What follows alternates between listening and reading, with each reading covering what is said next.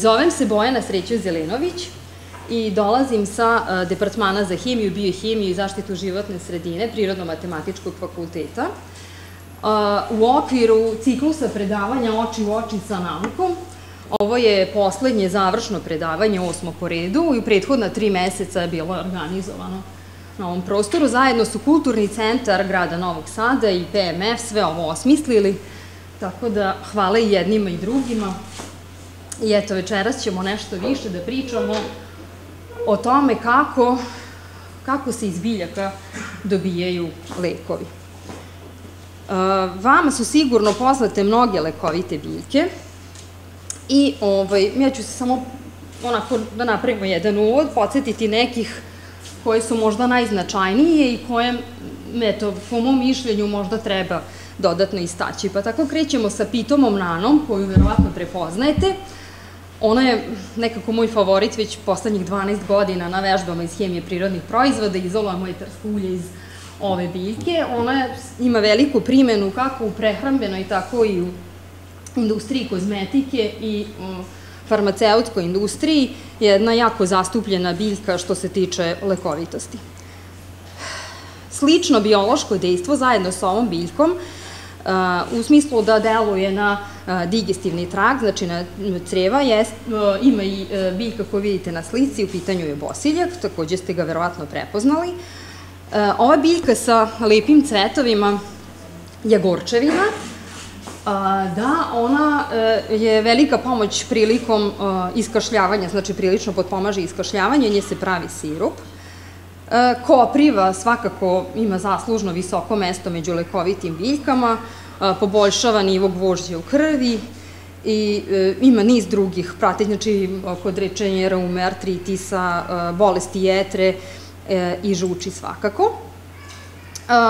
Peršun, koji, jeli, svakodnevno verovatno imamo svi u ishrani, on je, on je jako dobro poznat ovaj, onima koji imaju tegobe sa bubrezima, mokrićnim putevima, e, ovaj, potpomaže izbacivanje tečnosti iz organizma, e, maslačak, kad smo bili mali pravili smo venčiće, a on je jedna vrlo ovaj, važna lekovita biljka, e, koristi se kod bolesti jetre, hepatitisa A, B i C, i kod kamena u žuči vrlo blagotvorno može ovaj, da deluje.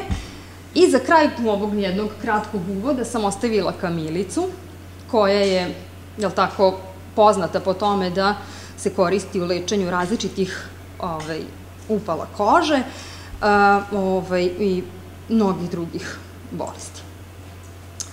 Pa da krenemo sa nekom malom istorijom. Pošto je svest o lekovitim svojstvima prirodnih proizvoda stara koliko i ljudi, I e, prvi primeri poznavanja lekovitih biljaka su stvari vezani za svet mrtvih. mrtvih. Još je neandertalski čovek pre oko 50.000 godina nosio lekovite biljke na grobove ovaj, svojih mrtvih u cilju izlečenja i isteljenja njihove duše i tela na onom svetu. Međutim, prvi konkretni recepti koji su bili na bazi konoplje, izvolite, opijuma, šafrana, majčine dušice, se pominju u Mesopotamiji pre oko 5000 e, godina. Prvi pisani dokument i prva farmakopeja e, jeste takozvani Ebersov papirus, koji je bio prisutan u Egiptu pre oko 3500 godina. U ovom dokumentu se pominje 877 različitih biljnih preparata, a do danas je e, identitet njih 358 ovaj, utvrđen. Naravno, e, grčke škole bile posvećene svemu, pa i naravno i medicini, i tu se isticala Hipokratova škola, e, peti i četvrti vek pre naše ere. Ovaj, pridavan je jako veliki značaj biljnim preparatima i u Hipokratovom delu korpus se pominje 257 različitih biljnih vrsta i preko 400 lekovitih preparata. Onda dolazi jedan e, veliki period stagnacije ovaj, i tu je možda alhimija donela najveći značaj oko 10. veka, kada su razvijene različite tehnike prečišćavanja biljnog, znači različitih materijala, Nije tu ostvaren nikakav konkretan napredak sve do 19. veka, ali prosto u tom periodu se nešto radilo. Sve ostalo je bilo onako mirno more. Tako da e, prva čista jedinjenja su izolovana tek početkom 19. veka. Pa da krenemo sa zanimljivostima. Jedan od najzanimljivijih primera dobijanja leka, i to je najpoznatiji lek današnjice, verovatno ga svi imate kod kuće ili bar velika većina, u pitanju je aspirin. Um, još su drevni sumerci pre 6000 godina koristili lišće vrbe i koru vrbe za ublažavanje svojih bolova. Pomenuti Hipokrat takođe, znači preporučivao ovaj, lišće vrbe da se koristi za ublažavanje bolova, Aktivni princip ovog ekstrakta je salicin. Otkriven je 1825. godine i ova struktura koja možda nekima deluje složeno, ali je u principu vrlo jednostavna, tako izgleda, tako izgleda salicin. A, on je izolovan i prvi put prečišćen nekoliko godina kasnije, 1829. godine, a prvi put je iz njega dobijena salitilna kiselina šest godina kasnije. E, nailazi period malo mirovanja da bi 1859. godine bila izvršena prva sinteza uh, ovaj, salicilne kisneline, ali uh, Charles Friedrich Gerhard nije ni slutio da će to postati jedan od najpoznatijih le lekova svih, svih vremena. Uh, sve je to stagniralo, sve dok nije došlo u ruke Feliksa Hoffmana, koji u tom trenutku bio zaposlen u Bayeru, i e, on je u stvari zaslužan za e, razvoj industrijske sinteze aspirina. I tako je jedno 6000 godina nakon prve upotrebe e, vrbe, odnosno vrbovog lišća, a, razvijena, znači industrijska sinteza aspirina i on je postao komercijalno dostupan lijek koji je i dan danas aktuelan, da tako kažem. Šta kažu podaci vezano za današnje vreme. Oko 80% populacije u zemljama u razvoju koristi tradicionalne lekove u lečenju. A, što se tiče komercijalnih lekova u razvijenim zemljama, oni su zasnovani takođe u velikom broju na prirodnim proizvodima i dominiraju biljke. Preko 70% lekova koje su komercijalizovale poznate svetske kompanije, 70% je biljnog porekla, nešto manje, odnosno daleko manje, trećina od toga su mikrobijalnog porekla, a životinskog svega 5%. 5%. Međutim, e, postoje komercijalni lekovi koji su, e, da kažemo, derivati i analozi prirodnih proizvoda, Znači, to su delimično modifikovane strukture e, koje su nastale kao po uzoru na te prirodne proizvode, znači, ali samo sa minimalnim izmenama i njih smatramo takođe da e, su nastale zahvaljujući prirodnim proizvodima. Tako da je u današnje vreme udeo prirodnih proizvoda u lekovima jako veliki i dostiže 60 do 80 procenata. Kako deluju biološki aktivni molekuli na, na naš organizam? Pa preko receptora. To su proteinski molekuli koji se nalaze u strukturi naših ćelija. I ta interakcija najlakše može da se uporedi e, delovanjem ključa, odnosno malog bioaktivnog molekula na receptor koji poredimo sa bravom, ali da bi ključ mogao da otvori bravu, neophodno je da se oni međusobno poklapaju po geometriji, po molekulskoj težini, da imaju uh, baš određen broj raspored funkcionalnih grupa, da budu polarni, nepolarni, baš tu gde treba, tako da samo odgovarajući ključ otvara odgovarajuću, odgovarajući bravu. I e, priroda je to tako lepo udesila da je tokom evolucije e, u biljkama su sintetizovani i još uvek se nalaze i to sad otkrivamo dalje i dalje i sve više i više, e, mnogi ti sekundarni biomolekuli koji e, ispoljavaju biološko dejstvo na životinje, samim time na čoveka.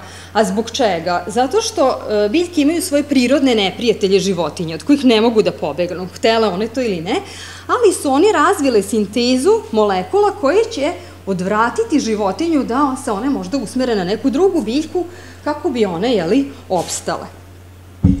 To je njihov cilj, jel tako? A šta je ono što mi zovemo u današnje vreme lekom.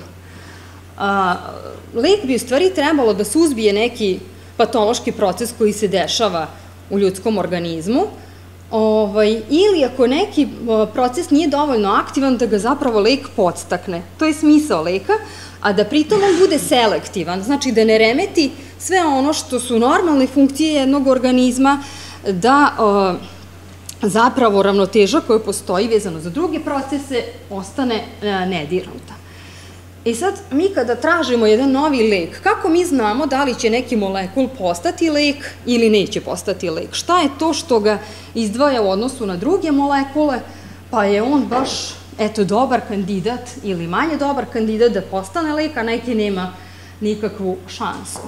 Pa razvoj jednog novog leka je jako složen, dugotrajan, moram reći i skup proces, iako nerado govorimo o ciframa, ali stvarno mnogo košta, i kažu da tek svaki treći lek koji se nađe na tržištu postane komercijalno isplativ. Tako da, ovaj, težak je to posao i zahteva angažovanje e, tima stručnjaka. E, vama je verovatno poznato da svakako u tome učestvuju farmaceuti, e, neophodna je prisutnost, je tako, biologa, medicinari su zastupljeni, to je neminovno, ali e, iznalaženje novih lekova je posao i hemičara, i to ne bilo koji hemičara, nego onih koji se bave medicinskom hemijom. Znači, organska sinteza koja je usmerena na dobijanje novih lekova, a to su, ovaj, hemičari koji se bave medicinskom hemijom. I e, svakako taj novi potencijalni lek, znači biološki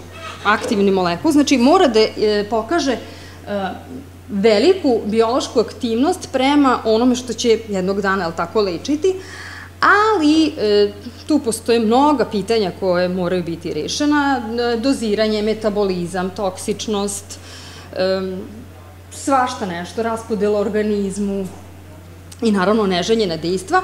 I eto, slikovito, znači kada biste uneli jedan novi lek, Pre svega on mora biti otporan na kiselost u želucu, to je jedan od faktora koji svakako mora biti ispunjen, jer ako se on tu degradira u želucu, ne može da postane lek, to je svakako važno. E,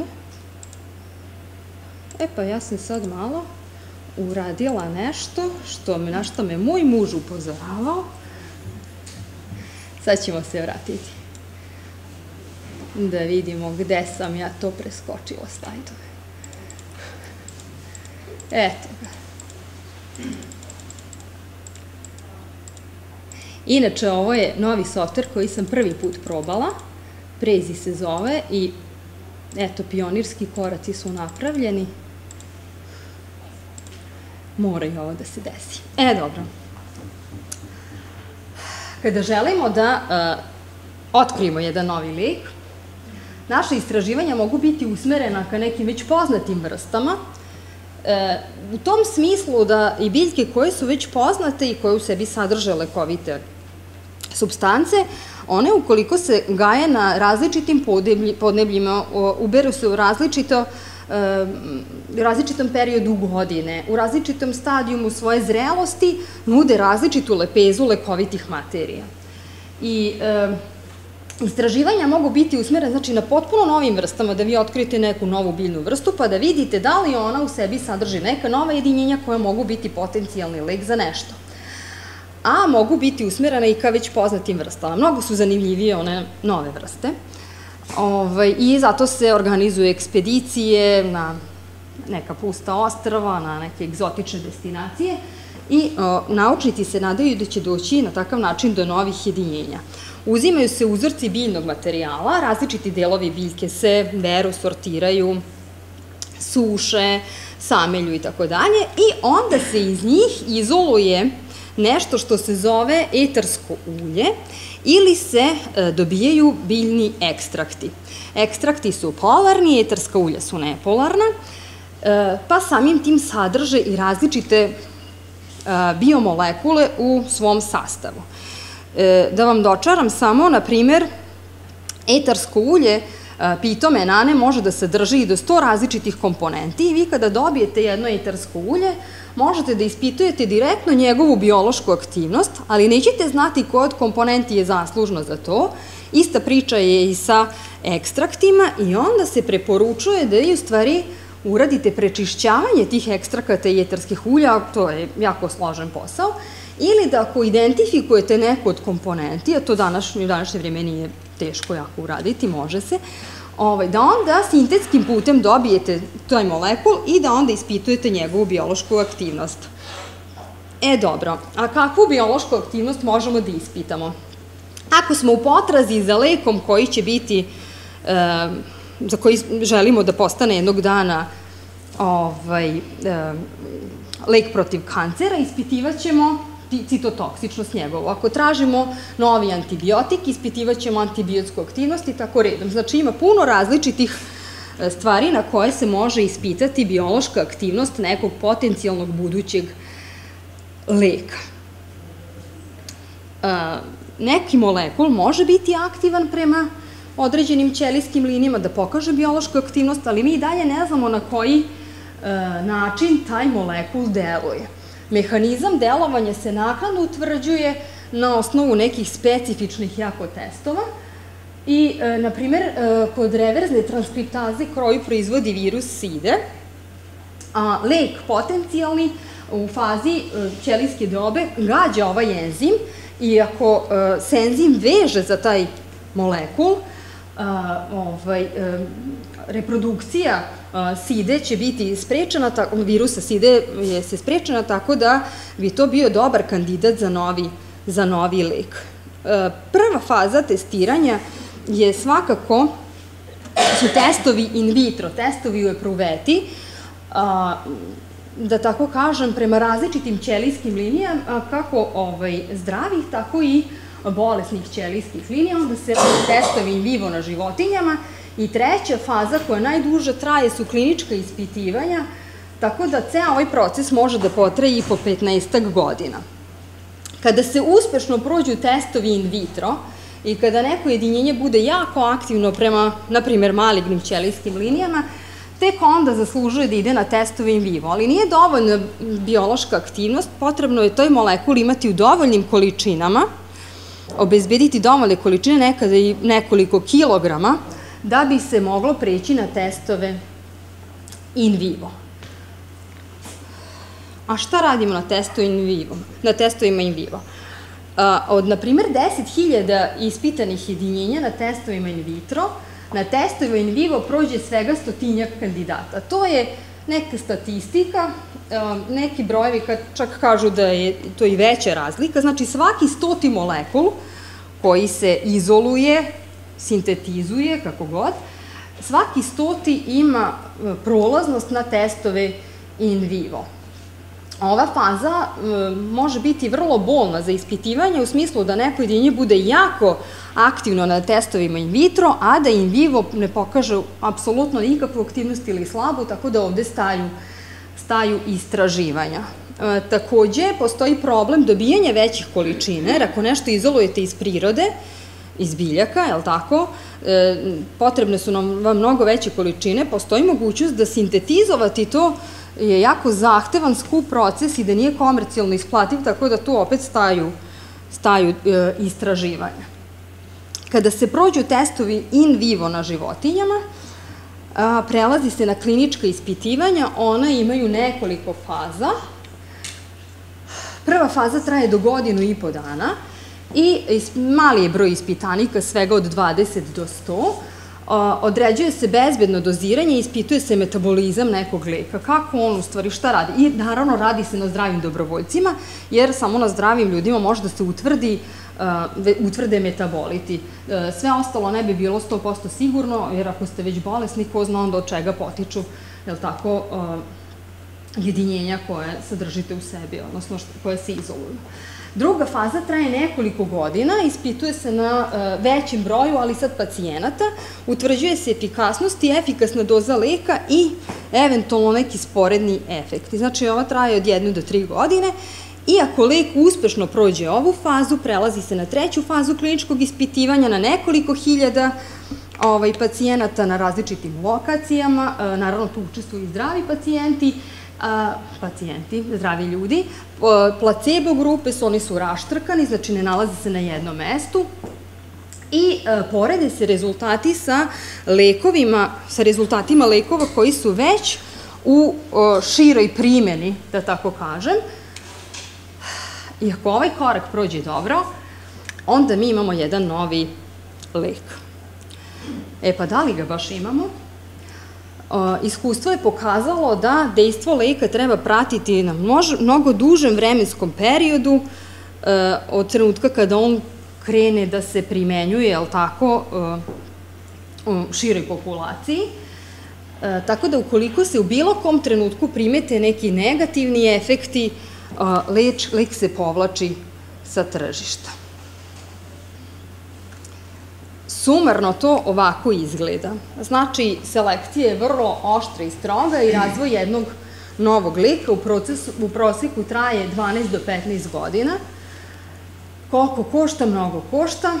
Jedan od, svaki stoti lek, u stvari na testovima in vitro, prođe na testove in vivo, odnosno od 10.000 jedinjenja 100 prolazi na testiranje u živim sistemima, a od tih 100 koji uđu na testove in vivo, svega 10 stigne do kliničkih ispitivanja i možda jedan od njih postane lek, a možda i ne.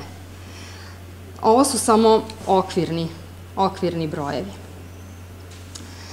A, zašto kažem da se um, nakon izlaska na tržište lek dodatno prati kakve efekte ima na, ovaj, na ljude, na širu populaciju? Da li se sećate ili ste upoznati sa aferom talidomid? Da ne možda.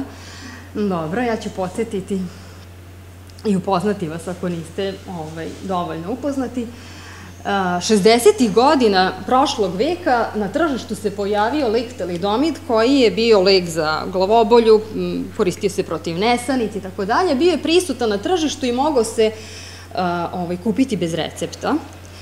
E, jako dobro je prošao sva ispitivanja e, i detaljno su rađene ti biološki testovi, stvarno savesno, međutim napravljen je jedan ozbiljan propust, a, ginekolozi su ga preporučivali trudnicama koje nisu mogle da, da spavaju, a bio im je potreban, jel tako, san.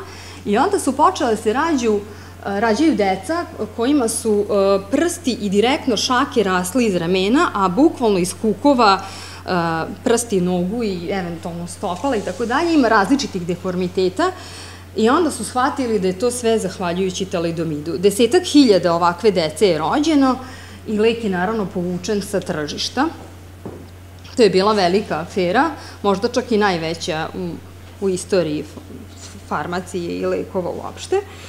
Međutim, talidomid se ponovo nalazi na tržištu i on je sada jedan od lekova protiv kancera. Koristi se za lečenje multiplog mijeloma.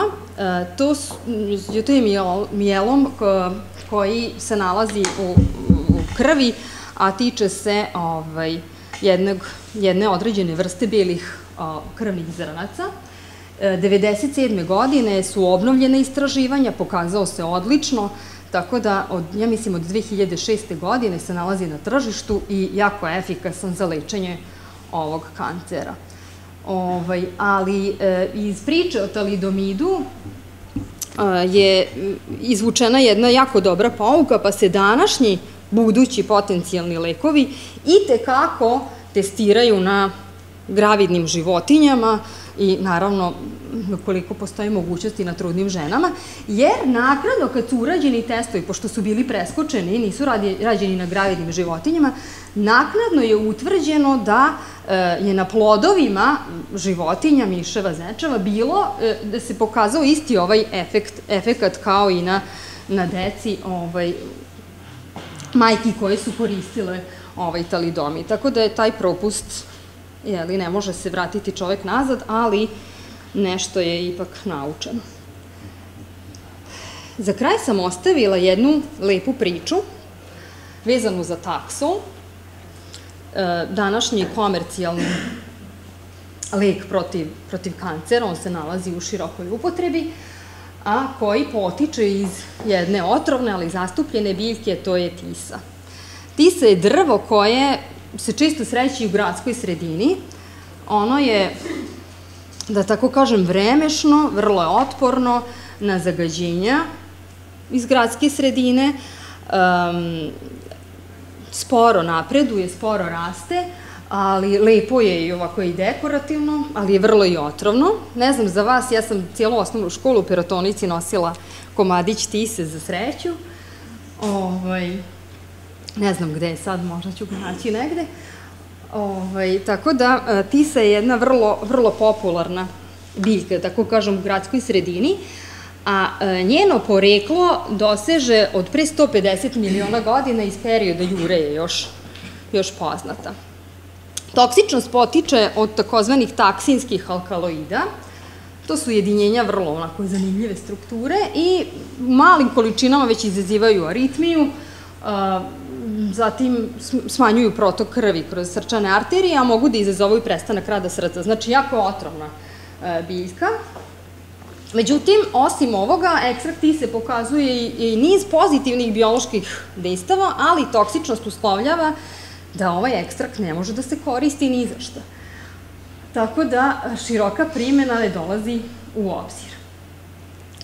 Međutim, e, u okviru nekih istraživanja koje su rađena prošlog veka formulisan je jedan novi lek protiv raka, zove se Taxol, a on je pre 150 miliona godina sintetizovan u ovoj pomenutoj prirodnoj laboratoriji, odnosno u biljci tisi. A zašto su rađena sva ta istraživanja? Pa, e, rak je jako zastupljena bolest i veliki uzročnik smrti ne samo u Americi, nego uopšte u svetu, ali Amerikanci rade silna istraživanja, pa se nekako uvek prije ili kasnije vratimo na njih. Ovaj, tako da e, je od raka obolelo skoro milion i po ljudi 2007. godine, a podlegla je trećina njih ovoj bolesti. I e, u terapiji raka se često koristi hemoterapija, ona predstavlja u stvari tretiranje obolelih ljudi sa malim organskim molekulima. U ti mali molekuli imaju cilj da se uzbiju proliferaciju, odnosno rast tih malignih ćelija. I u Americi je bila ta jedna velika kampanja sredinom prošlog veka. Cilj je bio da se nađu novi lekovi, novi terapeutici i ispitano je nekoliko desetina hiljada biljnih vrsta i izolovano je sto hiljada različitih jedinjenja i najaktivniji od svih njih je bio taksol poreklom iz kore Pacifičke tise. E, i onda 71. godine određena struktura, ovaj molekul nije baš složen, ovaj, nije baš jednostavan kao što smo imali ovaj, situaciju sa aspirinom, onako složenije, ozbiljno složenije struktura. E, on je, da tako kažem, okarakterisan 71. godine i nije, nisu baš bila velika interesovanja u tom periodu za njega, sve dok osam godina kasnije, vidite kako ovde osam godina je, da tako kažem, mnogo, u poređenju sa stotinama godina koje su bile malo za ono vreme. Prosto je se desio bum u nauci u 20. veku, je li tako?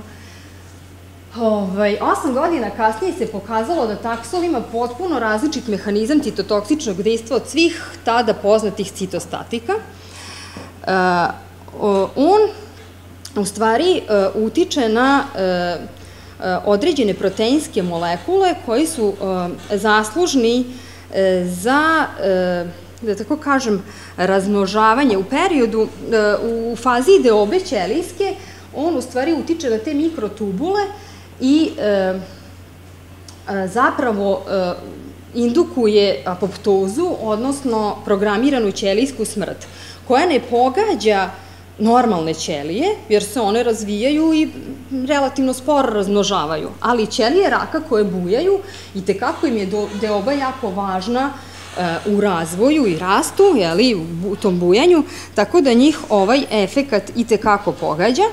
I e, ta saznanja o jednom novom e, i potpuno drugačijem mehanizmu delovanja su obnovila interesovanja za molekul taksola, istraživanja su intenzivirana i taksol uspešno prolazi kroz sve faze ispitivanja i bio je jako dobar u tretmanu kancera jajnika i dojke.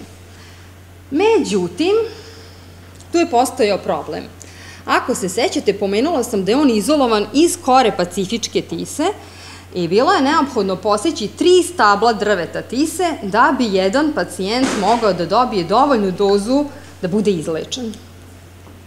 Tri puta, milion i po ljudi, dođe na jedno pet miliona stabala tise koja raste sporo, koja je dugovečna, koja To, to, to ne postoji na svetu, to je znači samo bi za Ameriku trebalo jako puno tise i to nije došlo u obzir. I onda su se naravno svi okrenuli organskoj sintezi, pa hajde mi ovaj molekul da sintetizujemo, nije to sad nešto valjda toliko strašno, međutim sinteze su ostvarene, ali nijedna od njih nije bila komercijalno isplativa, tako da ni to nije ponudilo rešenje. I onda se dosetio francuski naučnik Pierre Potier, on je ustanovio da u lišću pacifičke ptice postoji molekul koji se zove 10-deacetilbakatin i on je njega uspeo sintetskim putem da transformiše u taksol i da dobije taksol. Lišće se obnavlja na biljci, znači može da se bere, pa će se do godine obnoviti, znači niste posekli drvo. Drvo bez kore ne može da živi, a bez dela lišća svakako može i to je obnoviv materijal, tako da je on to uspeo da izvede zajedno sa timom svojih stručnjaka i nažalost nije dobio Nobelovog nagradu za to, ali dobro. I nisu samo stali oni njegovi saradnici u ovoj fazi, oni su uspeli da sintetizuju taksoter, derivat taksola, ovo je, ovo je taksoter, koji je ispoljuje još bolja terapeutska dejstva od taksola i on je danas jedan od najefikasnijih lekova u tretiranju raka dojke i raka pluća i e, ima baš široku primenu u cijelom svetu. Ovo je jedan baš onako e, ilustrativan primer kako u stvari u svetu oko nas, u biljkama koje nas okružuju, u stvari možemo naći molekule stare milionima godina, a da nismo ni svesni da mogu da nam pomognu u različitim bolestima i različitim tretmanima i zato je moja poruka za kraj ovog predavanja jeste da čuvamo prirodu, da čuvamo resurse koje imamo bar do onog trenutka dok ih ne istražimo do kraja. Malo pre sam razgovarala sa jednom gospođom iz Radio Novi Sad, ovaj, e, procene su da smo u morskim dobinama u stvari istražili svega jednu petinu onoga što nas okružuje i da u tim dosad neistraženim biljnim i životinskim vrstama se krije sigurno još mnogo različitih molekula, možda potencijalnih lekova, za nas mi to ne možemo znati dok ne istražimo i zato bi bilo dobro svakako da, da to jeli, na najbolji način iskoristimo. Eto. Toliko od mene za večera.